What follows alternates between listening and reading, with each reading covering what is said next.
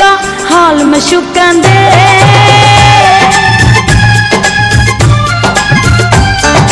तू की जा